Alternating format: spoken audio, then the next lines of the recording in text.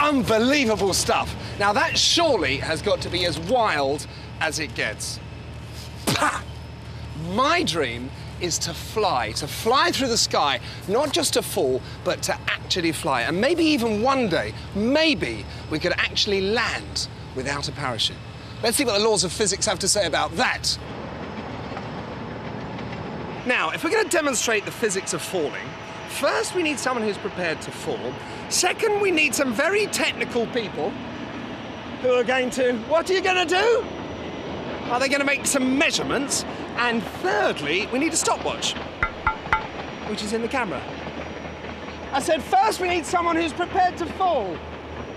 Well, I see, that's me. Now, this is a deadly serious science experiment. We're not here to have fun.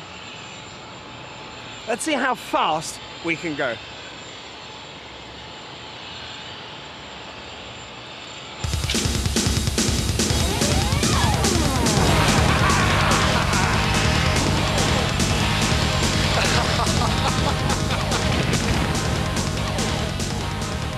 How fast was that?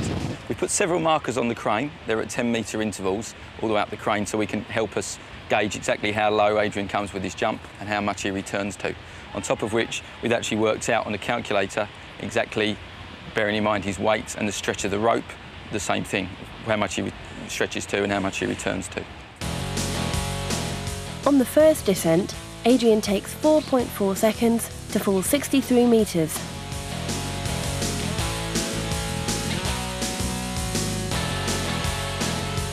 On the second descent, he takes 4.7 seconds to fall 40 metres.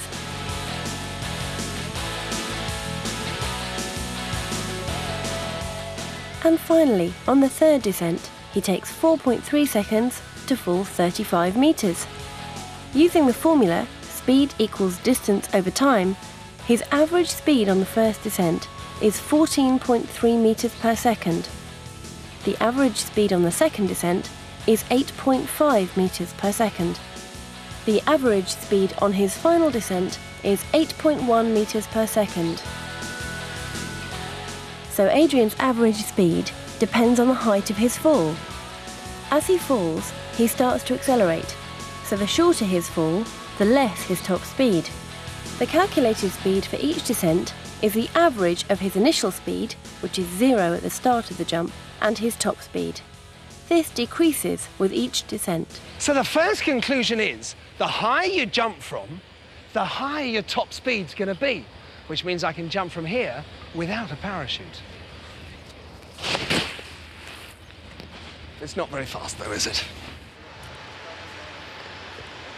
Now, if we want to jump off something very, very high, something extremely tall and live, we have to find a way to slow ourselves down. So this time, I'm going to jump like a base jumper, like a, like a flying squirrel. Wearing this big suit, I'm going to try and catch all the air I can. Ready, steady, go! By wearing a suit and jumping like a flying squirrel, Adrian is increasing the air resistance on his body. Air resistance depends on shape.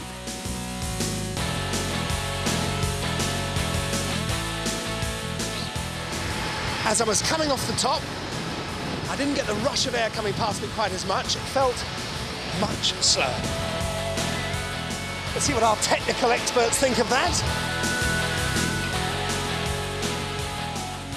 On the first descent, Adrian takes 5 seconds to fall 63 metres.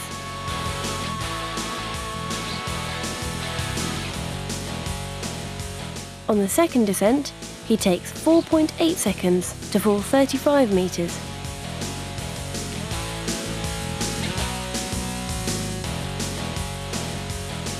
And finally, on the third descent, he takes 4.2 seconds to fall 30 metres.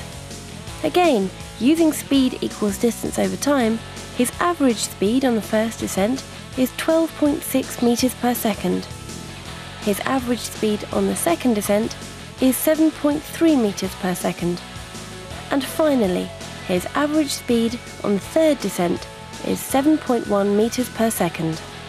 So his squirrel jump is slower than his normal first jump.